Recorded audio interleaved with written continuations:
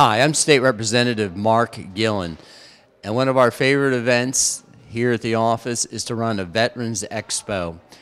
Directly across from me is our office at Flying Hills, and we're at the barn at Flying Hills. The Veterans Expo has over a dozen exhibitors. We've got everybody from World War II veterans here to Abilities in Motion, assisting veterans in a special way with the Veterans Mobile, which came up from Washington, D.C. We're going to take a few minutes and walk around the building and see what we have at the exhibitors tables at the Veterans Expo.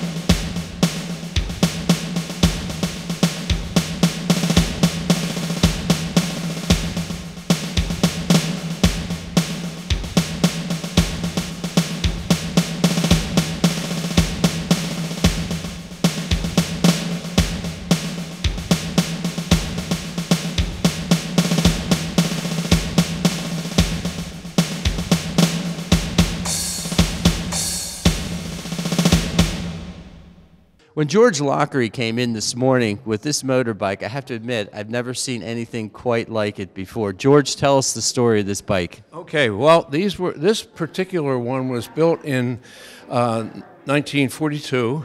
They built them in 42 and 43. They made a total of about 3,400 of them. They were intended for use by the special operations guys on, in the field, and they turned out to be more important for the paratroopers. They, they made a canister 15 inches in diameter that this thing fit in. They dropped them along with the uh, paratroops. So these guys would find one of these, open it up, and 11 seconds later they'd be on their way. Can I interject a question here? Is this primarily in the European theater that we saw this deployed? It's, it's English, but you know, it was used in. Uh, in, in a number of key battles. Some of the pictures here describe those, uh, Normandy and some other things. So I'm a paratrooper, and I'm dropping out of my plane, and I'm jumping on a fully gas scooter. How far is this going to get me? Well, it does 30 miles an hour, and it can go almost 100 miles with the gas. Um, meanwhile, the Germans are shooting at you with MG42s and MP40s and that stuff, so you're going to get on this thing and drive. I think I'd be more inclined for the belly, but at any rate, they were pretty popular. Um, Did it take the Germans by surprise that you were actually had that kind of mobility with a motorbike? I don't know the answer to that. I suspect it did. Uh huh. I suspect so. Shortly later, they came up with the glider concept. The British gliders they could hold all kinds of guys, and uh, sort of um, took away the need for this, but it was it was uh, it was used pretty heavily. All right, does this thing run? Because we're going to take it out in the parking lot here if it does. Uh, no, the the engine I think will run. I just got finished almost all. I don't have the clutch on yet, but um, the engine's rebuilt. I I was able to get. Uh, uh, the wherewithal to get that together. How did you obtain it? And I'm going to guess that there are that not that many of these left. I've never seen one before myself. No, um, back in the later 40s, the uh, British company sold these to a New York department store. Gimbel's, I think, rings a bell. Uh, people in the uh, uh the, the uh, uh, what am I thinking of the groups that would go around and a lot of them clowns. They they bought these, painted them some absurd color, and used them fellow in California had this one, and uh, I bought it from him. He has several, and uh, I was lucky, I think, to get it. And uh, but it was missing a lot of stuff, a lot of stuff. Well, you've wonderfully put it back together again. Moving on, oh, yeah. You got something here you want to tell us a little bit more about. About the Sten. Now, the Sten is a British design. All these things that I'm going to talk about are British designs. This is the submachine gun that was very popular with the, uh, with the uh, British troops. And uh, of course, the Germans had MP40s, which kind of prompted the English to come up with machine guns, submachine guns. What the British were doing prior to the design of this was buying Thompsons from us. But then when we got into the war in 41, uh, the Thompsons were needed by our guys, so they had a crash program to design a, a, uh, a workable um, uh, submachine guns, and this has proven to be very good. There was like 17 million of these made by all, all companies. This is a, uh, a Lee Enfield rifle designed in the late 1800s and uh, chosen by the British as their standard service rifle. And it served up and through, I think it was 57. Uh, these were used by uh, other countries, and it was, uh, you know, very. Let me, let me get a feel of the weight of this. I got the impression it was pretty stout. It's, Very stable, not much kick. Uh, no, it uses the 303 British round, which Cli- is like a. Clips five. Uh, yeah, uh-huh. And uh, it was very popular, but I thought it would be interesting to have a little British thing here. So these three items were really important in the British uh, World War II um, angle. You've certainly added a lot to the expo. Thanks for being here, and we hope to have you back again. We appreciate it. I'm with Doug and Liz Graybill, two great friends, two veterans, two folks that have a passion for veterans issues. Doug, Veterans Making a Difference, where did the passion come from to start this organization, and tell us something about it? Well, uh, when I came back from Vietnam and Beirut, Lebanon, I had a lot of problems, and um, it's, we all think there's no one out there to help us. And uh, six years ago, I started making deliveries to uh, widows of veterans, and I kind of liked it and realized there's a lot of need out there. So I'm doing uh, whatever I can to help veterans of, of all ages, and uh, it's very rewarding. And I get other lonely veterans involved also, and it's helping them out. Just briefly, I know it's difficult to talk about. You came back from Vietnam and Beirut. Where were you in life at that point when you were back stateside? What needs did you have? Well, um, I was homeless about five times, and I was in a lot of trouble. Uh, I would actually ask the police to shoot me. Uh, I hated everyone, hated myself, hated my life, and uh, I tell everyone that Liz saved my life. Uh, I wanted to be with her, so I changed, and uh, uh, I'm hap- happier now than I ever have been. I know that's deeply personal. You came back, you struggled, you see other veterans coming back, and they're going through some of the same struggles. How did this organization assist them with those challenges? Well, when we have an event, uh, say we're giving out Kaufman chicken dinners, uh, uh, I get the, the vets that are coming in for assistance, I get them to help me uh, set up the table, uh, hand out the personal care items, uh, the food. So I get them involved, and uh, I take them out, uh, deliver lunches out to the camps, and uh, just they're helping me, and I'm helping them. It's a wonderful organization. Liz, listening to this guy over here, it sounds like he was a project when he came back. I'm not sure what it was like for you when you first met him. Can you describe those moments? Uh, Doug and I are totally different. When I met Doug, he had long hair. He was a sole parent. He had custody of all his children. He was burned out and depressed when I met him. So I changed his life by making him more positive, getting him involved in church, getting him to live beyond himself and start helping others. And Liz, right now you're doing that work on a larger scale because you work for the county of Berks in the Veterans Office. Tell us a little bit about your story. You've got a military background too. I was in the Army 23 years and I retired. I served in Desert Storm six months, Bosnia twice for a year each, and Iraq twice for a year each. So I have four and a half years deployments, five deployments. So Well, this is a special relationship. This is a commitment, and obviously, it's encouraged a lot of other people to see not only what you're doing, but where you've come from. And as veterans are coming back from overseas now, how are the challenges different, perhaps from your era and Doug's era of active service to some of the more contemporary conflicts like Afghanistan? Um, like Doug would tell you, when he's spending time with these young veterans, the stories are the same. It's just different years, different branch of service, different location, but it's all the same. We all go through the same thing the PTSD, the combat, whatever. It's the same coming back, trying to adjust. It's just a different time. My dad was a World War II veteran, and I think he suffered some of the very same challenges that I've heard in this conversation and discussion. There seems like there was less of an openness during that era to discuss what you were going through. Veterans today, are they opening up a little bit more than veterans of yesteryear?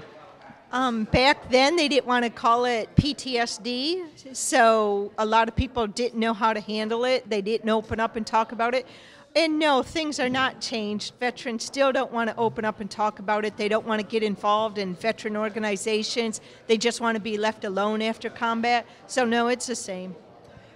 Reading in Berks County is our backyard, it's our community. It's not something that we see on a regular basis. Homelessness. Can t- tell us something about veterans' homelessness in our own community, either Doug or Liz? There's uh, approximately 50 to 60 sheltered homeless uh, veterans in Berks County. Uh, there's uh, quite a few hundred couch surfers, and uh, a lot of families and individuals we help are at risk of being homeless. There's a, a, a couple uh, truly homeless veterans that are in camps, and they just don't want our, want any help. They want to be, they want to do their thing. They some of the people just don't want to follow rules. You say that some people actually want to be out in, in a camp, but I also think of some of the winters that we've had recently five degrees, zero degrees, below zero. It almost sounds like their lives are at risk. Well, there were uh, approximately 20 people that spent uh, this past winter outside. Uh, we made sure they had uh, blankets, tents, tarps, um, whatever supplies they needed. Uh, we'll, And we made sure they had food. Uh, some of the veterans and other homeless can go into shelters. They have code blue. When it's really cold, they can go in. Some choose not to go in, they want to remain homeless. Well, as we conclude here, I sure hope that some of those homeless veterans show up here because we've got some coffee and donuts and fixings that were donated by local uh, area businesses. Is there any final thoughts that you have on veterans making a difference? Where does this go five, ten years from now? This needs always going to exist in the community. The problem's not going away. Uh, right now, we're really working on uh, trying to establish a, a Veterans Day Center uh, in Center City, uh, open five days a week, six days a week, uh, eight hours, ten hours a day. A place for all veterans, homeless and at risk of being homeless, disabled vets, a, a- just a veteran-friendly place to come hang out, socialize, uh, companionship with other veterans. Uh, we all speak the same language, and uh, what Berks County and Reading needs. Thanks, Doug. Liz, closing comments, veterans making a difference.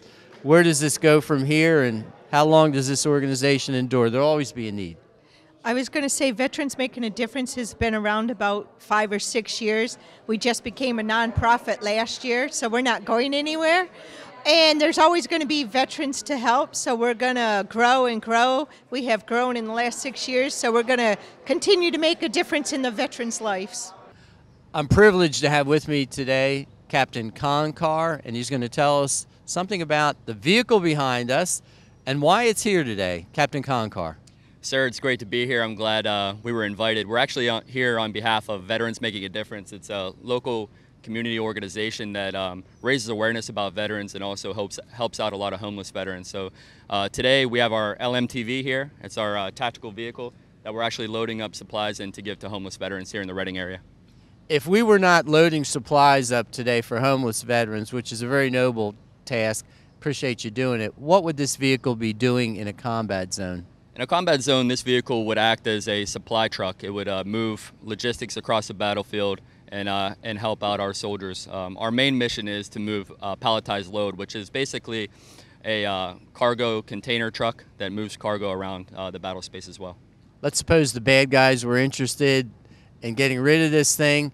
What can it hold up to in terms of armament and sturdiness?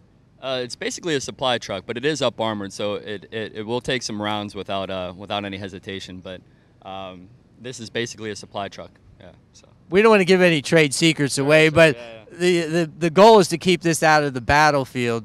From what I'm gathering, you're going to move stuff to the front, but then Sure. you're going to get away from that situation. Absolutely, that's the plan.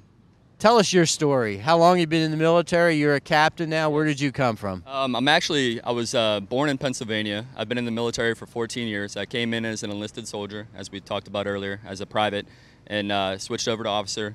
And uh, yeah, now I'm the commander of the unit here in uh, Reading. So And you're commanding how many men and women underneath? uh, we have 205 soldiers right now. So uh, we're, we're pretty full up, and uh, yeah, it's a blessing. It's a it's a great job, and I, I couldn't imagine doing anything else. Take us inside what a commanding officer does. So, you know, we have this picture in our mind. We hear the word commander. You're out in front. Troops are marching behind you. Let's talk training. We're, uh, we're responsible for a lot. The morale, we're, we're responsible for the training and, and preparing soldiers to, uh, to deploy in the needs of, of the United States and the United States Army. Um, so if we get called upon, we need to be ready. And my job is to ensure that we are ready. You've been deployed yourself. I have. I've been to Iraq in 2003 uh, to 2004. You're married. I am, and actually, my wife is uh, representing Berks Counseling Center uh, in in there. She's a she's a mental health therapist, and she puts up with a lot because we move every uh, two years or so. So All right. We're looking at this vehicle here. It looks like it's got good capacity. Yep. Uh, our goal is to fill it with supplies for who? It's uh, for veterans making a difference. Um, we've teamed up with them. They, they hold a mini stand down actually in Reading at the park, and um, they they raise uh, food. Um, they get uh, clothing donations, and then they give it out to the homeless veterans. And, and every uh, month they have it um, on the second Saturday every month. And it, it's you know they're a great organization, and, and we're just proud to team up with them. Earlier, I spoke with the Graybills. I guess Doug Doug Graybill yep. figures prominently in this organization. He does. He he and Liz are, are instrumental to, to a lot of the veterans in this area that, that need help, that that need uh, that that need their help, and they're they're out there every day trying to help veterans. So Someday you're going to get out of the military. What do you envision yourself doing? I couldn't imagine doing anything else. I, I love I love the military. Uh, I'm gonna stay in as long as I can, and maybe uh, maybe when it's all over, I'd, I'd like to teach at a university. I think that'd be a good job for me. You're imagining teaching at a university, but you're really a teacher and a mentor where you're at right now. We've got a lot of young men and young women that are under your command who have needs, direction, Absolutely. instruction. How much of a father figure sometimes do you take on to these young people?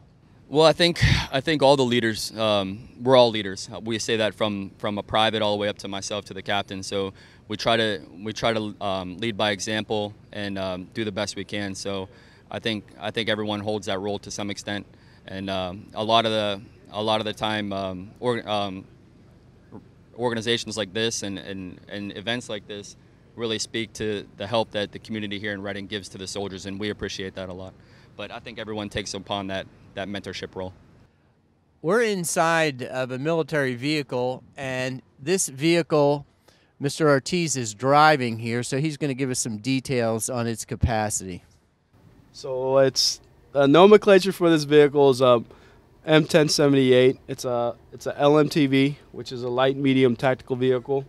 Usually load for cargo transport, um, troop movements. It's a you can carry soldiers in the back of it. Uh, it's a very agile vehicle, whether you're either in the desert terrain, uh, woodland, even on the cross country or highway. Uh, with some of the added features on it, it has a CTIS, which is a central central tire inflation system.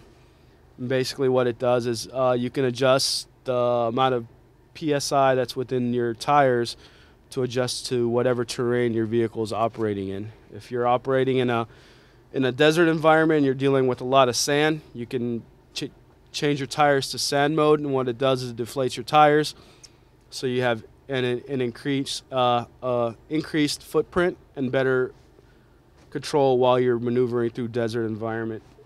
It also a, has run flats, so a lot of new consumer vehicles have them, but they're really expensive. And basically, if the tires go flat, it has an inner inner tire that's completely rubberized so that your tire can continue to run even though you have a flat.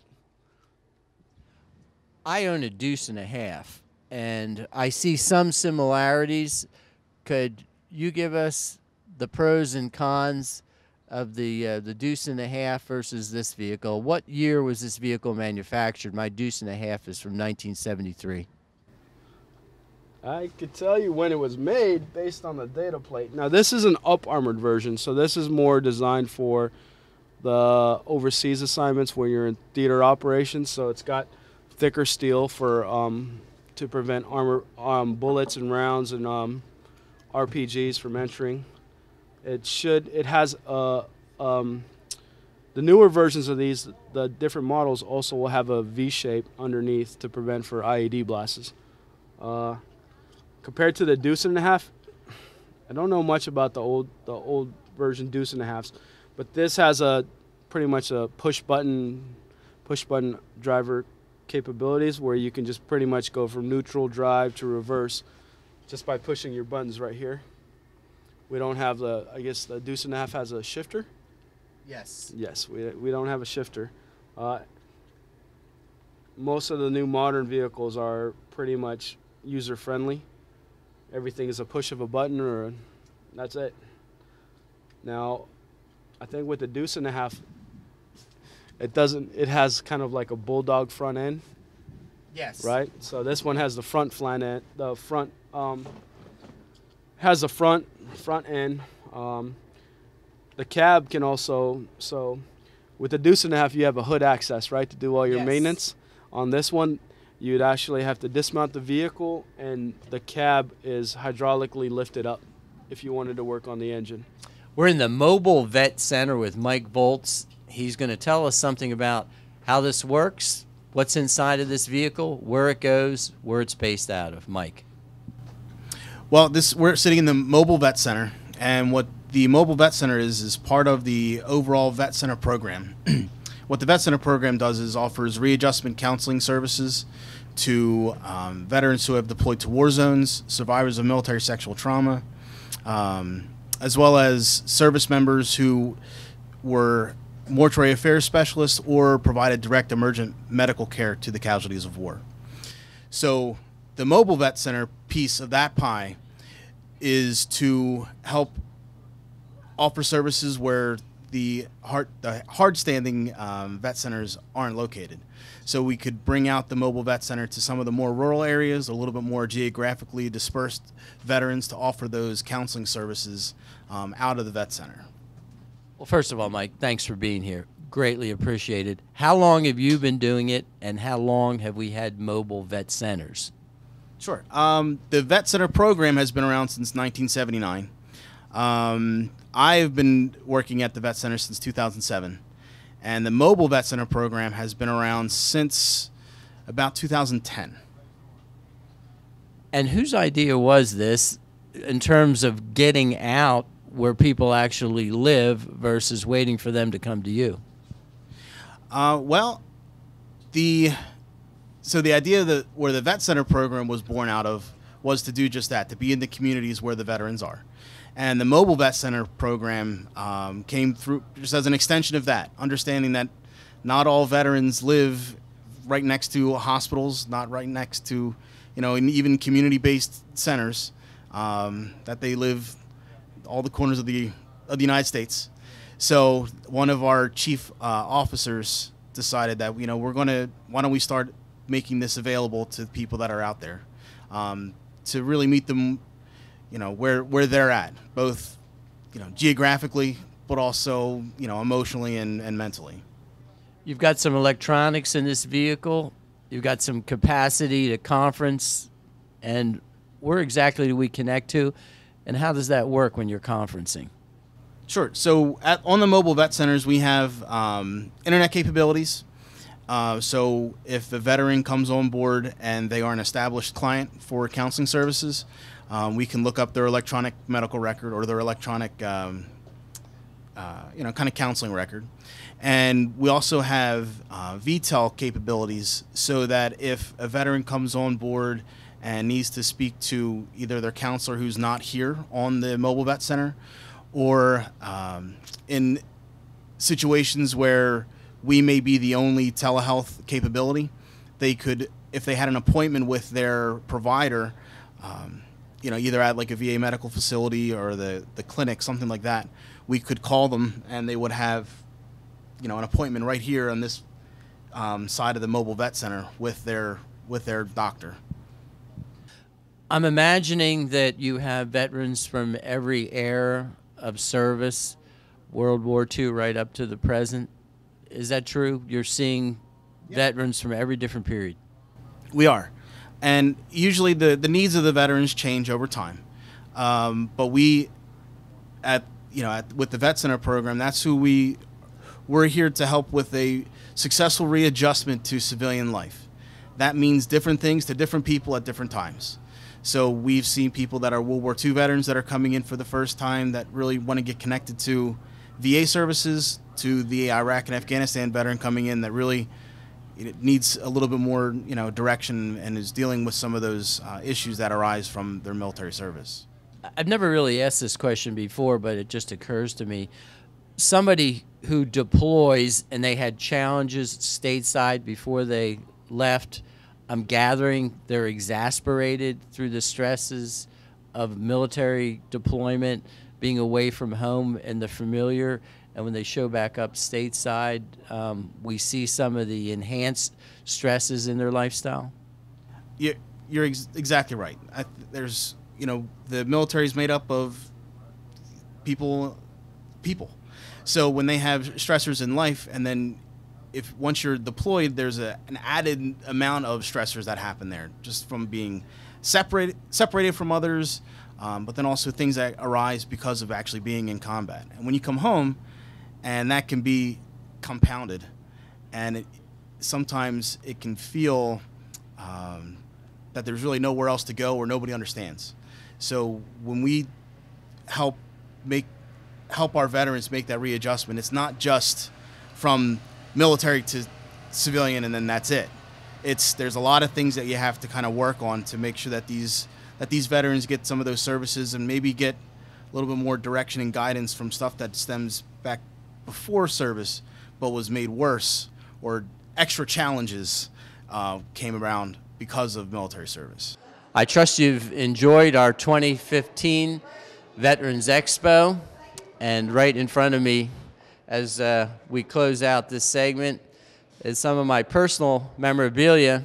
And if I could just point one out, my grandmother uh, was working for the Heinz Company, and this particular poster showcased Josephine Gillen, my grandmother's son, my dad actually, and she was working at a plant, and he was out in the Navy in the machine gun turret of a torpedo plane in the South Pacific. Uh, we had a little area in our office that we weren't fully utilizing, and I began to put some of my personal mementos there, some of my dad's air medals, and we uh, gathered some things at the World War II weekend, some old newspapers and helmets and things of that nature to decorate the office. And at some point in time, my desire is to have a Veterans Museum uh, right here in Berks County. So we're very pleased that you took the time to visit with us. I'm State Representative Mark Gillen at the 2015 Expo, and if there's any veterans related issues or state related matters of any type, we'd encourage you to contact our office, and that contact information will be in the screen to follow.